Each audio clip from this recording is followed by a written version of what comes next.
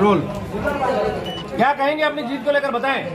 सबसे सर्वप्रथम तो मैं एनएसए परिवार का धन्यवाद चाहता हूँ, क्योंकि मेरे को इस पर भरोसा जताया और मुझे अध्यक्ष पद के उम्मीदवार के लिए उन्होंने टिकट दी। और उसके बाद जो मैंने संघर्ष किया था पिछले चार पाँच साल के साल से तो मेरा संघर्ष काम आया। इससे मेरे छत्तीस कौम के साथियों ने मुझे इस लायक समझा और मुझे अपना मत और समर्थन देके अध्यक्ष पद चुना मेरे को।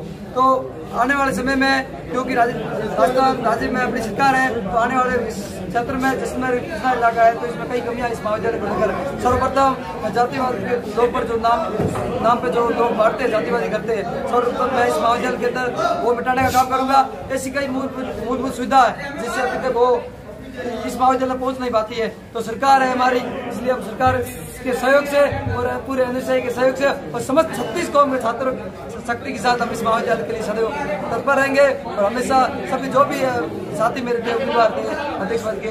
तो सिक्के के दो पहलू होते हैं हार जीत होती है एक निश्चितता एक ही होती है।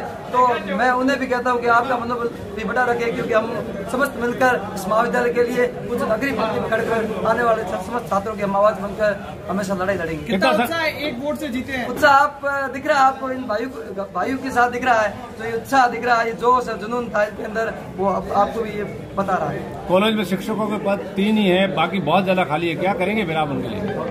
ऐसी कई केवल शिक्षक को लेकर कमियाँ नहीं है। जैसलमेर एक सीमावर्ती इलाका है तो इसमें ऐसी कई मूलभूत सुविधा है, जो इस महाविद्यालय तक नहीं पहुँच पाती है। सर्वप्रथम हमारा प्रयास रहेगा कि हम सरकार है तो सबके सबके सहयोग से छत्तीस कौम के सहयोग से छत्तीस कौम के विद्यार्थी भाइयों से मिलकर हम अपने इस महाविद्यालय के लिए सदैव कार्य एक एक वोट से जितना कितना चुनौतीपूर्ण लगता है? एक वोट एक वोट कहते ना कि एक एक वोट एक वोट से सरकार जीत जाती है तो एक वोट का बहुत बड़ा मायना होता है। तो आज पता चल रहा है कि एक वोट कितना मायना रखता है। तो इसमें मैं सभी दूसरे परिवार का सर्वप्रथम धन्यवाद पुनः ज्ञापित करता हूँ कि मुझ पर भरोसा जताया सामान्य परिवार ओके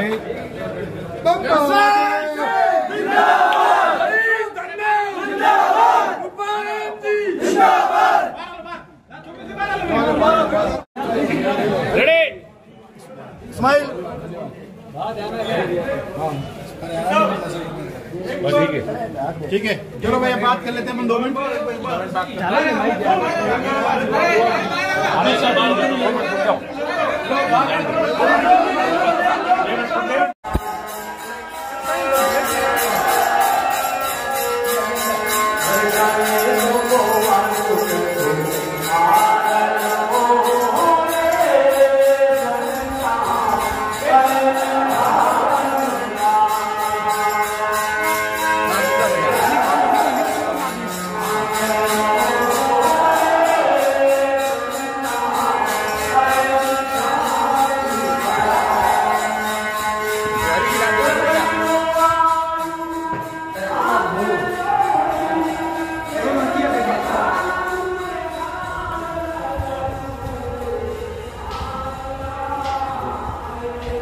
संतराय नमः।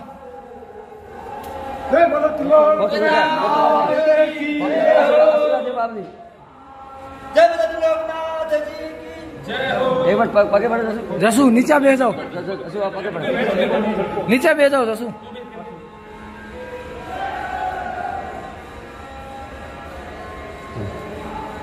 जय बोलो श्री श्री श्री लोक की जय हो।